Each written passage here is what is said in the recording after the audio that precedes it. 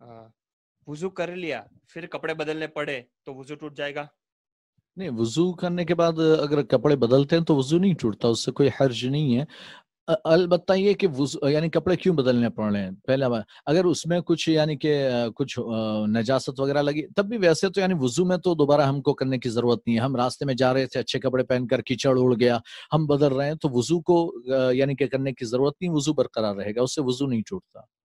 के कपड़े बदल रहे, वज़ू तो है अपना। अगर शर्मगाह पर नज़र पड़ गई प्राइवेट पार्ट्स पर, अपने या किसी और के, किसी और के चित्र पर भी नज़र पड़ गए वज़ू टूट जाएगा। जी ये जो मसला यानी अभी जो हमने बयान किया, उसमें भी मैंने बताया था कि किसी की सत्र देखने से या अपनी सत्र देखने से, बल्कि सत्र को छूने से, अपनी शर्मगाह को किसी ने हाथ लगाया, तब भी वज़ू नहीं टूटेगा।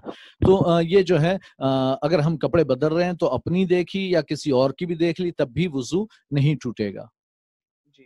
मुजम्मिल भाई